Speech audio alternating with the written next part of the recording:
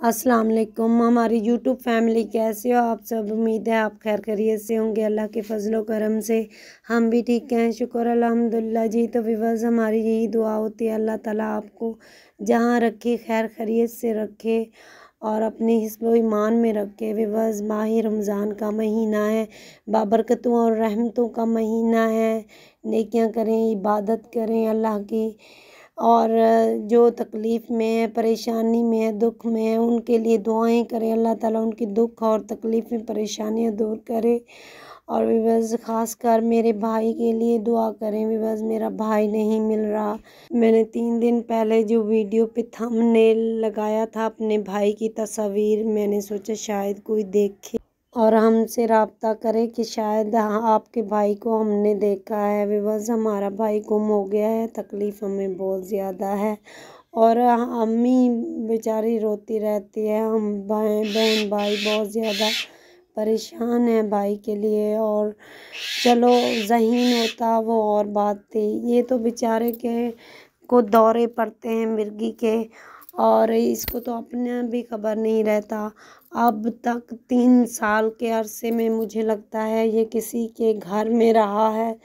और इसने सूट भी वही पहना हुआ है जो घर से पहन के चला गया था। शायद ये किसी के पास रहा होगा। तो अब तक इसकी हालत कुछ संभली हुई है। अब हम इसलिए ज़्यादा परेशान हैं कि क्योंकि अब वो जो कि, जिनके पास शहर था तो अब तो ये अपने सिर मुँह चलता फिरता है क्योंकि इस, ये ये खुद अपने आप को नहीं संभाल सकता। और जब इसे दौरा होता है, ये गिर पड़ता है। इसे ये भी नहीं पता होता कि मैं कहाँ पड़ा हूँ, मैं कहाँ हूँ, कहाँ नहीं विवज़ में इसलिए आपसे रिक्वेस्ट बार बार कर रही हूँ कि भाई मेरा जाता है। उसे ढूँढने के लिए, लेकिन भाई नहीं मिल रहा। आप हमारी वीडियो को शेयर कर दें, शायद हमारी शायद कोई इस थंबनेल को देखे और कहे कि हमने देखा है तो हमसे शायद रबता कर लें। बस ख़ास कर दुआ करें। और कल ना परसों भाई कह रहा था, मैं गया हूँ, वहाँ ढूंढते ढूंढते एक बुज़ुर्ग खड़ा हुआ था। और मैंने बुज़ुर्ग से कहा कि आपने इस लड़के को देखा है, उसने कहा कि नहीं, फिर एक और बंदा उधर पास ही खड़ा था, वो आ गया मेरे भाई के पास और कहने लगा, कौन सा लड़का?